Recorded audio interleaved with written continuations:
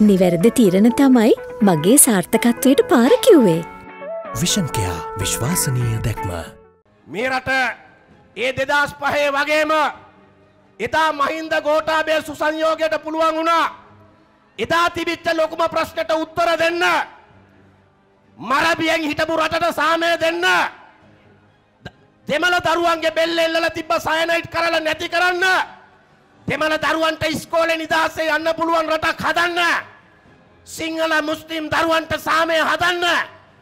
ඒ අමාරු අභියෝගය එදා දෙදස් පහෙන් පස්සේ මහින්ද ගෝටාබය සුසංයෝගයට දිනවල දෙන්න පුළුවන් වුණානම් මෙතා මෙතා මේ රට වැටී තිබෙන වලෙන් ගෝටාබය මහින්ද සුසංයෝගයට ගැලියට ගන්න පුළුවන් මගේ අම්ම තාත්තේ සහෝදරයා සහෝදරිය breaking.lk